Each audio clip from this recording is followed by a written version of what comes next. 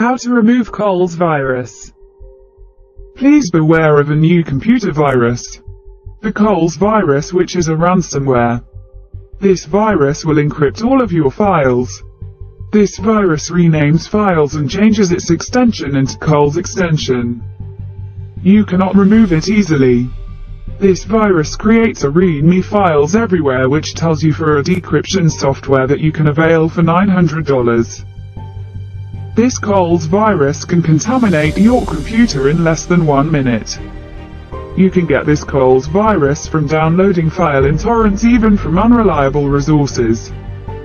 The virus can penetrate all corners of your computer and will close all your important files, images, materials and everything that are on your device. Here are some tips to prevent this kind of virus. 1. Don't download anything from unreliable resource. 2. Don't click on any unreliable links. 3. Always turn on your firewall or your defender. 4. Make sure to have an antivirus software. 5. Make sure to have backup files of your computer. 6. Make your browser secured. 7.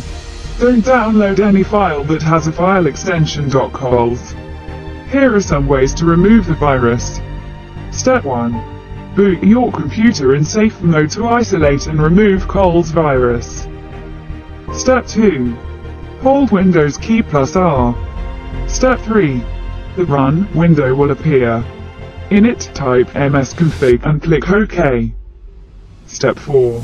Go to the Boot tab. Then, select Safe Boot and then click Apply and OK. Step 5. When prompted click on Restart to go into safe mode.